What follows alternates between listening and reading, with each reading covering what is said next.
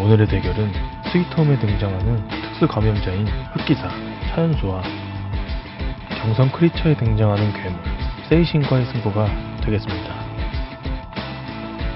차연수는 욕망에 넘어가지 않고 특수한 감염자가 된 존재로 오른팔이 날개처럼 어느 정도 비행이 가능하게 해주며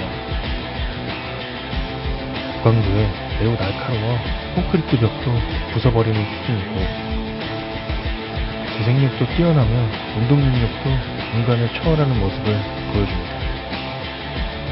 세이시는 나진과 한조기를 인체에 주입해 만들어낸 괴존재로 어느 정도 인지 능력을 가지고 있으며 주로 촉수를 활용해 공격하는데 촉수의 위력은 콘크리트 벽도 뚫어버릴 정도로 강력하며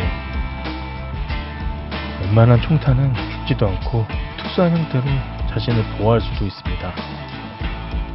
인간의 형태를 유지하는 괴물 차연수와 괴물로 변해버린 세이신과의 승부는 누가 될까요?